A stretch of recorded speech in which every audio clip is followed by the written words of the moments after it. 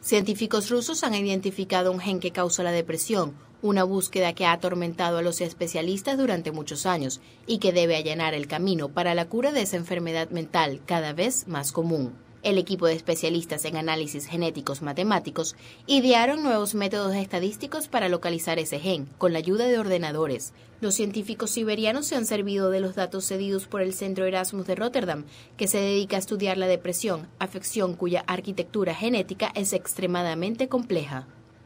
La depresión es causada en un 40% por herencia genética de cada persona y en un 60% por motivos externos. Además, cada paciente es diferente en lo que se refiere a la gravedad, intensidad, duración y frecuencia de la enfermedad, lo que dificulta aún más su diagnóstico. Precisamente, según la Organización Mundial de la Salud, uno de los principales obstáculos para curar la depresión es la evaluación errónea, ya que algunas personas que sufren esa enfermedad nunca son tratadas. Desde nuestra plataforma multimedia, Daniela González, Noti Minuto.